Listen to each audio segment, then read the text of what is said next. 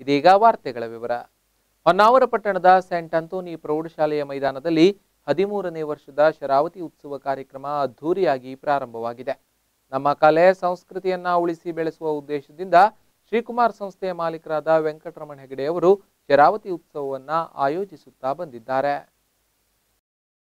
ಶ್ರೀಕುಮಾರ್ ಸಂಸ್ಥೆಯ ಮಾಲೀಕರಾದ ವೆಂಕಟರಮಣ್ ಹೆಗಡೆ ನೇತೃತ್ವದಲ್ಲಿ ಹೊನ್ನಾವರ ಪಟ್ಟಣದ ಸೆಂಟ್ ಅಂತೋನಿ ಪ್ರೌಢಶಾಲೆಯ ಮೈದಾನದಲ್ಲಿ ನಡೆದ ಹದಿಮೂರನೇ ವರ್ಷದ ಶರಾವತಿ ಉತ್ಸವ ಕಾರ್ಯಕ್ರಮದಲ್ಲಿ ವಿವಿಧ ಕ್ಷೇತ್ರದಲ್ಲಿ ಸಾಧನೆಗೈದ ಸಾಧಕರನ್ನ ಸನ್ಮಾನಿಸಿ ಗೌರವಿಸಲಾಯಿತು. ಯುವ ಜನಾಂಗವನ್ನ ಉತ್ತಮ ಹಾದಿಯಲ್ಲಿ ತರಲು ಶರಾವತಿ ಉತ್ಸವದಂತಹ ಸಾಂಸ್ಕೃತಿಕ ಕಾರ್ಯಕ್ರಮಗಳಿಂದ ಮಾತ್ರ ಸಾಧ್ಯ ಎಂದು ಕ್ಷೇತ್ರ ಶಿಕ್ಷಣಾಧಿಕಾರಿಗಳಾದ ಗಿರೀಶ್ ಪದಕಿ ಹೇಳಿದರು. ಪಟ್ಟಣದ ಸೆಂಟ್ ಅಂತೋನಿ ಪ್ರೌಢಶಾಲೆಯ ಮೈದಾನದಲ್ಲಿ ಶರಾವತಿ ಸಾಂಸ್ಕೃತಿಕ ವೇದಿಕೆ ಆಶ್ರಯದಲ್ಲಿ ಎರಡು ದಿನಗಳ ಕಾಲ ನಡೆಯುವ ಹದಿಮೂರನೇ ವರ್ಷದ ಶರಾವತಿ ಉತ್ಸವದ ಮೊದಲ ದಿನದ ಕಾರ್ಯಕ್ರಮ ಉದ್ಘಾಟಿಸಿ ಅವರು ಮಾತನಾಡಿದರು. ಕಳೆದ ಹದಿಮೂರು ವರ್ಷಗಳಿಂದ ಶರಾವತಿ ಸಾಂಸ್ಕೃತಿಕ ವೇದಿಕೆಯ ಮೂಲಕ ನಮ್ಮ ದೇಶದ ಸಂಸ್ಕೃತಿಯನ್ನ ಪಸರಿಸಿರುವುದು ನಿಜಕ್ಕೂ ಶ್ಲಾಘನೀಯ ಎಂದರು.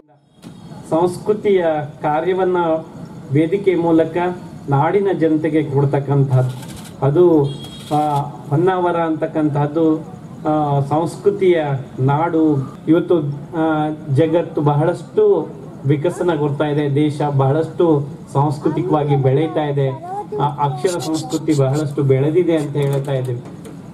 ಅಷ್ಟೇ ವೇಗದ ಗತಿಯ ಬದಲಾವಣೆಗಳನ್ನು ಕೂಡ ಕಾಣಲಿಕ್ಕೆ ನಮ್ಮ ಮುಂದೆ ಇರತಕ್ಕಂತಹ ಅವಕಾಶಗಳು ಇದೆ. ಖಂಡಿತವಾಗಿಯೂ ನಾವು ಬದಲಾವಣೆಗಳನ್ನು ಕಂಡಿದ್ದೇವೆ. ಓದ್ನಲ್ಲಿ ಬದಲಾವಣೆ ಕಂಡಿದ್ದೇವೆ. ವಿದ್ಯೆಯಲ್ಲಿ ಬದಲಾವಣೆ ಕಂಡಿದ್ದೇವೆ. ಸಂಸ್ಕೃತಿಯಲ್ಲಿ ಬದಲಾವಣೆ ಕಂಡಿದ್ದೇವೆ. ಬೆಳವಣಿಗೆಯಲ್ಲಿ ಬದಲಾವಣೆ ಕಂಡಿದ್ದೇವೆ. ಆದರೆ ಮನಸ್ಸಿನ ತಾಕಲಾಟಗಳಲ್ಲಿ ಎಲ್ಲೋ ಒಂದ್ ಕಡೆಗೆ ನಮ್ಮ ಮನಸ್ಸನ್ನ ವಿಕೃತಗೊಳಿಸ್ಕೊಂಡು ಇವತ್ತು ಸಮಾಜದಲ್ಲಿ ನಮ್ಮ ನಮ್ಮ ಭಾವನೆಗಳನ್ನ ನಾವು ಕಳೆದುಕೊಳ್ತಕ್ಕಂತಹ ಕಾರ್ಯವನ್ನ ಮಾಡ್ತಾ ಇದ್ದೇವೆ.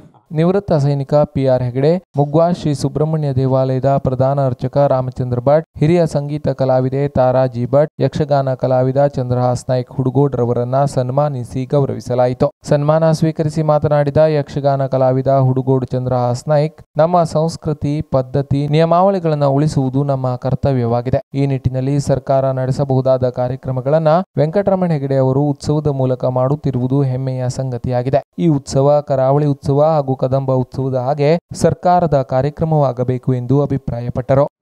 ಕದಂಬ ಉತ್ಸವವು ಕರಾವಳಿ ಉತ್ಸವ ಅದ್ಧೂರಿಯಾಗಿ ಅದ್ಭುತವಾಗಿ ಕೋಟ್ಯಾನುಕೋಟಿ ಹಣವನ್ನು ವೆಚ್ಚ ಮಾಡಿ ಸರ್ಕಾರ ಮಾಡ್ತದೆ.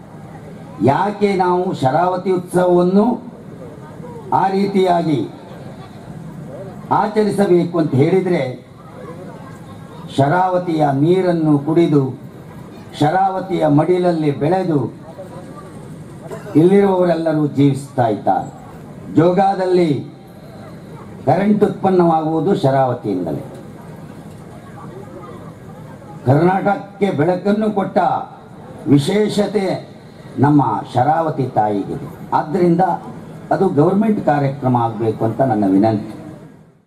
ತಹಶೀಲ್ದಾರ್ ವಿ ಆರ್ ಗೌಡ ಅಧ್ಯಕ್ಷತೆ ವಹಿಸಿ ಮಾತನಾಡಿ, ಶರಾವತಿ ಉತ್ಸವ ನಮ್ಮ ಜನಪದ ಕಲೆ. ಅದನ್ನ ಉಳಿಸಿ ಬೆಳೆಸುವಲ್ಲಿ ಶರಾವತಿ ಸಾಂಸ್ಕೃತಿಕ ವೇದಿಕೆ ಶ್ರಮಿಸುತ್ತಿದೆ. ಶರಾವತಿ ಹೆಸರಿನಲ್ಲಿ ಉತ್ಸವ ಪ್ರಾರಂಭಿಸಿ, ಕಳೆದ ಹದಿಮೂರು ವರ್ಷಗಳಿಂದ ನಮ್ಮ ಹಿಂದಿನವರು ನಡೆಸಿಕೊಂಡು ಬಂದ ಸಂಸ್ಕೃತಿ ಸಂಸ್ಕಾರವನ್ನ ಮುಂದಿನ ಪೀಳಿಗೆಗೆ ತಲುಪಿಸುವ ಜವಾಬ್ದಾರಿಯಾಗುತ್ತಿದೆ. ತಾಲೂಕಾಡಳಿತದ ಪರವಾಗಿ ಅಭಿನಂದನೆ ಸಲ್ಲಿಸುತ್ತೇನೆ ಎಂದರು.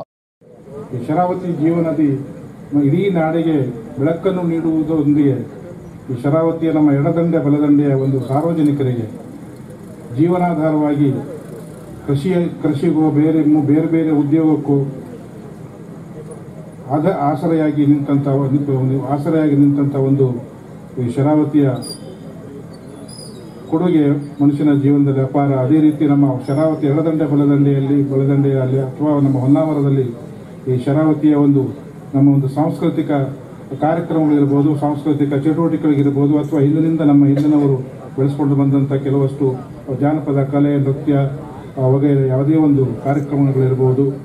ಅಂಥವನ್ನ ಒಂದು ಮುಂದಿನ ಒಂದು ಪೀಳಿಗೆಗೆ ಮುಂದುವರಿಸ್ಕೊಂಡು ಹೋಗಬೇಕು, ಅದು ಬೆಳೀಬೇಕು ಅನ್ನುವ ಒಂದು ದೃಷ್ಟಿಯಲ್ಲಿ ಶರಾವತಿ ಶರಾವತಿ ದೇವಿಯ ಹೆಸರಿನಲ್ಲಿ, ಶರಾವತಿಯ ತಾಯಿ ಹೆಸರಿನಲ್ಲಿ ಈ ಸಾಂಸ್ಕೃತಿಕ ವೇದಿಕೆಯನ್ನು ರಚಿಸಿಕೊಂಡು ಕಳೆದ ಹದಿಮೂರು ವರ್ಷಗಳಿಂದ ನಮ್ಮ ವೆಂಕಟರಮಣ ಹೆಗಡೆಯವರು ಅಂದರೆ ನಮ್ಮ ನಾವೆಲ್ಲ ಪ್ರೀತಿಯಿಂದ ಕರೆಯುವಂಥದ್ದು ಪುಟ್ಟೆಗಡೆ ಅಂತ ಆ ಪುಟ್ಟ ಹೆಗಡೆಯವರ ಒಂದು ಸಾರಥ್ಯದಲ್ಲಿ ಯಶಸ್ವಿಯಾಗಿ ಹದಿಮೂರು ವರ್ಷಗಳಿಂದ ತಾವು ಒಂದು ಕಾರ್ಯಕ್ರಮವನ್ನು ನಡೆಸ್ಕೊಂಡು ಬಂದಿದ್ದೀರಿ.